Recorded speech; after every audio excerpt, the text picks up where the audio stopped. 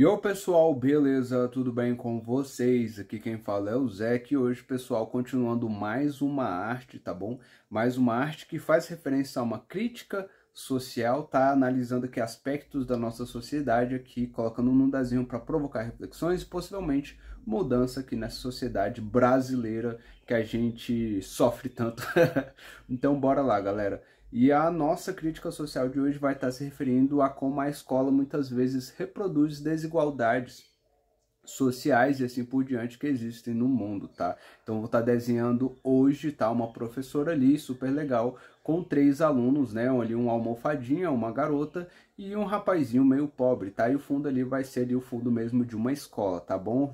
Novamente a técnica utilizada vai ser um lápis de cor primeiro, também vou estar fazendo ali um esboço ali, é, primeiro com lápis normal, mas vou estar reforçando esse esboço com lápis azul, que fica mais fácil de ser enxergado e ainda dá para você passar o preto por cima e ele também é bem captado pela câmera, infelizmente vocês também vão ver que a qualidade da câmera não é lá essas coisas, porque é uma câmera webcam, né? Eu tenho que fazer toda vez um, um, um negócio aqui para conseguir gravar. Ainda não tô com os materiais ótimos para poder colocar um, um, celular ou então uma, uma câmera boa mesmo assim para gravar, mas quando eu puder a qualidade vai melhorar. Mas enfim, e por último ali eu vou estar tá usando aquarela para a gente poder finalizar, tá? Mas eu não vou estar tá, é, finalizando com todos, todos esses elementos. Vou estar tá finalizando principalmente a professora e os alunos, vocês vão ver melhor para frente. Agora, mais ou menos explicado como é que a gente vai fazer essa arte, é importante também eu poder falar um pouco sobre essa crítica social, principalmente a partir do meu ponto de vista como professor. Para quem não sabe, eu sou professor já fazem dois anos, sim, o tempo passa muito rápido. Inclusive, daqui a pouco vou estar usando até óculos. E galera, eu pude ver muito, muito mesmo como é um pouco dessa diferença nesses dois anos da realidade social de vários alunos e alunas, entendeu? E como é que isso influenciou no rendimento deles dentro de sala de aula, apesar de que a escola que eu trabalhei, né, foi Escola Parque aqui no Distrito Federal, que é uma escola de ensino especial. Ela lá você faz coisas mais ligadas às artes, à educação física, do que você não recebe notas, né? Os alunos eles não têm notas, eles ganham conceitos e assim por diante, mas ainda assim você pode ver crianças que ele estão realmente ali, cara, podendo aproveitar mais o que o professor pode dar para elas do que outras crianças ali muitas vezes.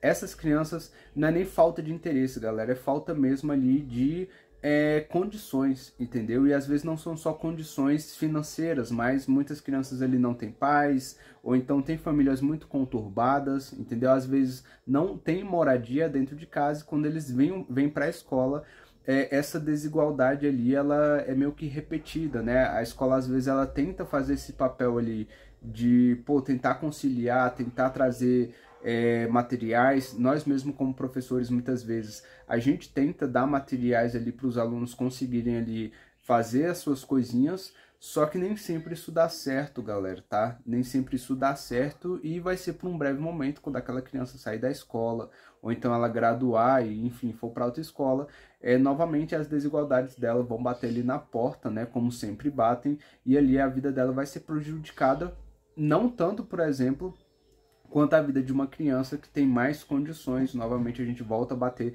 nessa tecla. Geralmente ele se também tem um aluno que às vezes não só tem boas condições, mas é muito mimadinho, então esse aluno não vai respeitar muito o professor, porque geralmente uma criança que tem tudo na mão, ela não sabe o valor de escutar, o valor do não, entendeu? E assim por diante. E aí vai ser aquele almofadinho ali que vai estar tá em primeiro plano ali, vocês vão ver ele todo ali bonitinho, tudo mais, riquinho. É, Mauricinho é, geralmente é o tipo ali que eu não gostava muito quando eu era criança, porque geralmente tinha tudo, tinha tudo que os pais davam e a gente aqui, a gente passa no sufoco para conseguir ter o mínimo, entendeu? E aí a escola acaba às vezes reproduzindo essas, por mais que ela tenta também compensar o aluno às vezes, se é com mais merenda, com material que às vezes os próprios professores, eu mesmo, eu já comprei caderno de desenho para vários alunos, e ele, pra, justamente para estimular, não só para tentar dar uma coisa que eles não tinham, mas para estimular as artes, né? Eles no caminho das artes. É, mas eu pude ver, galera, que muitas vezes a gente apenas reproduz as, as dificuldades que essas crianças já têm na vida real, entendeu? Então, às vezes, se tem uma criança que, por exemplo, ela pô, não se comporta muito bem, geralmente com quem que você vai brigar? Com essa criança.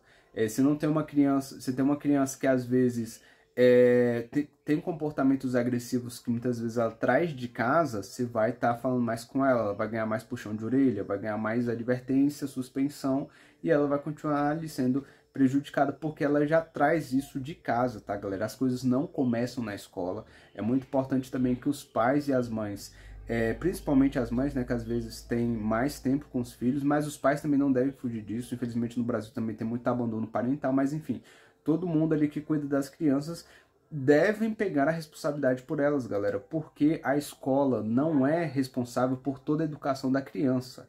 A educação é dever da família e do Estado. Isso está na Constituição Federal Brasileira, entendeu? Então é, é o seguinte. Então tudo começa dentro de casa. Então, se a criança não tem uma boa estrutura, a criança não tem boas condições, a criança ela já sofre uma série de violências dentro de casa, quando ela for para fora, ela vai continuar sofrendo. Talvez ela sofra mais ainda, entendeu? E na escola não é diferente. Você vê que até crianças tratam entre si diferente crianças que são às vezes parte da minoria, que às vezes são crianças negras, pobres, entendeu? Às vezes é uma criança ali que, sei lá, ela começa, aos 9 anos, 10 anos ela se descobre homossexual e tudo mais, então ela também vai ser tratada diferente pelas suas questões. E a escola às vezes reproduz isso, a gente como professor, a gente tem um papel assim de intervir, mas a gente não é super-homem, nós não somos onipresentes, onipotentes, e uma hora ou outra bullying vai acontecer, entendeu? A gente vai fazer o que a gente pode fazer contra esse tipo de agressão, que eu sofri, inclusive, na minha época de escola, mas a gente não é onipotente, a gente não é onipresente. Eu mesmo eu sinto vontade de no futuro me tornar padrinho de alguns alunos, apadrinhar, que é quando você fornece ali material escolar, alimentação, entendeu? Dependendo de você banca um passeio para alguma coisa, mas a família continua tendo ali a guarda da criança e tudo mais, você só mesmo ajuda. Inclusive você pode fazer isso sem ter nenhuma ligação legal, né? Você, legal que eu falo dentro da lei. Você pode fazer isso simplesmente doando coisas para a escola e a escola pode fazer essa, essa coisa, como já aconteceu numa das escolas que eu trabalhei, que foi fazer cesta básica, doar para criança, para a família, entendeu?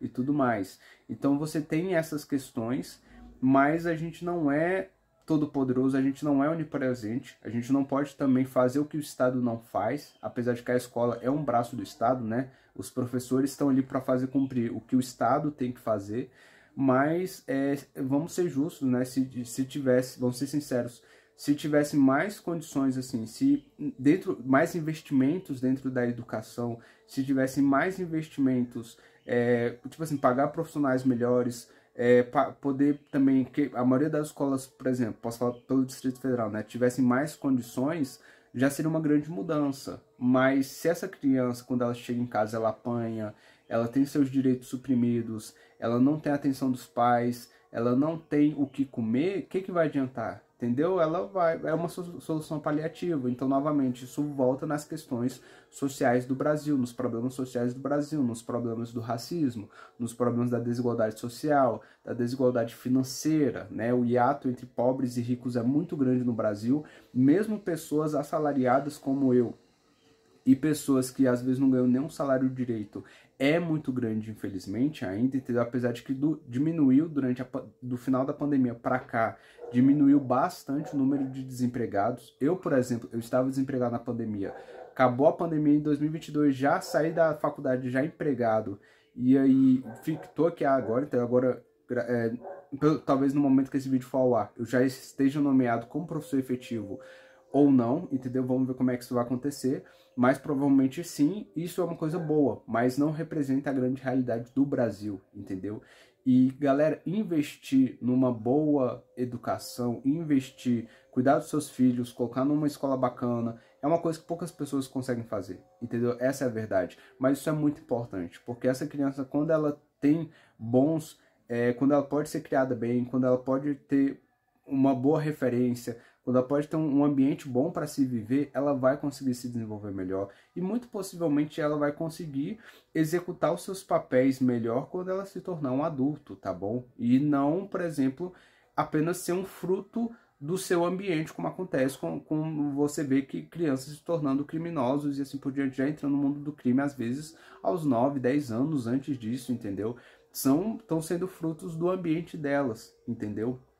E a polícia depois ela vai prender essa criança, a criança vai se tornar, sei lá, um criminoso de muito pior depois, sendo que às vezes se o ambiente dela fosse melhor, se ela tivesse mais oportunidade, entendeu? Inclusive você pode ver que às vezes quando você tem um ambiente que tem mais oportunidade, oportunidade às vezes só de trabalho, você já diminui um pouco essa questão da criminalidade, porque vai pensar, ah, cara, para que, que eu vou pro crime se eu posso trabalhar e ganhar minha grana? Entendeu? Você tem outras exceções que é quando a pessoa vê, não, ah, no crime eu vou ganhar mais. Só que às vezes, se tem ali uma oportunidade de emprego, se tem uma escola bacana, se dali eu pô, da escola eu já vou ali pegar uma coisa para fazer, pô, pra que, que eu vou perder meu tempo ali arriscando minha vida no crack, no mundo do crime? E às vezes é o ponto que a, a, a comunidade ajuda, as igrejas, né, dentro das pequenas igrejas, dentro dessa comunidade ajudam também, né, colocando às vezes a, a criança ali é, um pouco mais longe desse caminho ali que alicia os menores, mas são muito, é muito raro, entendeu? Então, tô falando de todos esses problemas para poder falar que esses problemas afetam a vida da criança antes dela chegar na, na, escola, e quando ela chega na escola, ela continua sendo afetada. E aí vai ser uma criança que não vai tirar notas tão boas, vai ser uma criança que vai ser mais violenta, agressiva às vezes, ou vai ter muitos problemas que ela não vai conseguir se desenvolver bem com seus colegas, vai ser. É, muito introvertida, né, tentando ali evitar o que acontece em casa, mas é uma coisa da gente como professor tentar refletir sobre isso e tentar não reproduzir essa postura, né? Cada ano é uma nova oportunidade de você começar, né? Você que esteja assistindo aí essa esse vídeo, se você é professor ou professora, tente refletir sobre a forma como você guia suas aulas, como você reproduz ou não, é, às vezes quando você reproduz é, certas certos tratamentos que não são legais com seus alunos, né?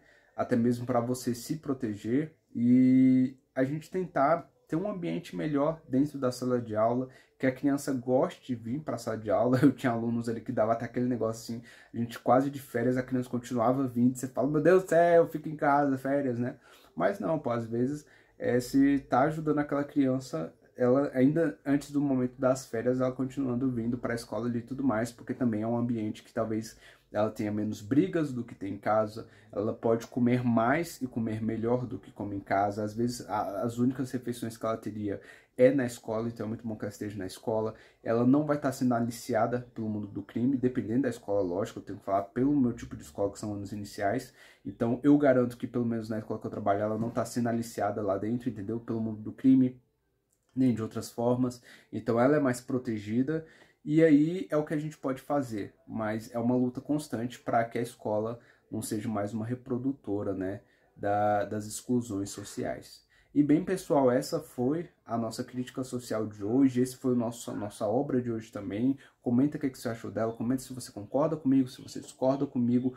Comenta também uma sugestão para eu estar explorando outra crítica social, entendeu? A respeito da nossa sociedade. Lembrando que não basta só criticar, tem que ter ação depois da crítica, depois da reflexão, entendeu? Novamente uma reflexão depois da ação.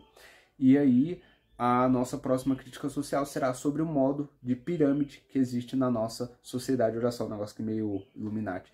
É como, porque toda a sociedade, basicamente, que a gente teve até hoje, com exceção, sei lá, dos índios, indígenas americanos, indígenas brasileiros, foi feita numa base de pirâmide, ou seja, muita gente sofrendo embaixo para que poucas pessoas em cima pudessem ter uma vida muito boa.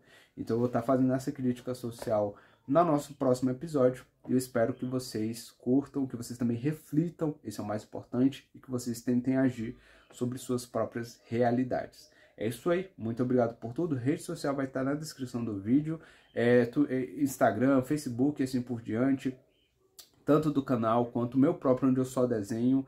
É, também dá uma olhada aqui, esse vídeo também foi patrocinado pelos membros, então se você quiser se tornar membro apenas dois reais, aí você vai ganhar uma série de regalias, como meu livrinho e tudo mais. É isso aí, muito obrigado por tudo, valeu, falou e fui!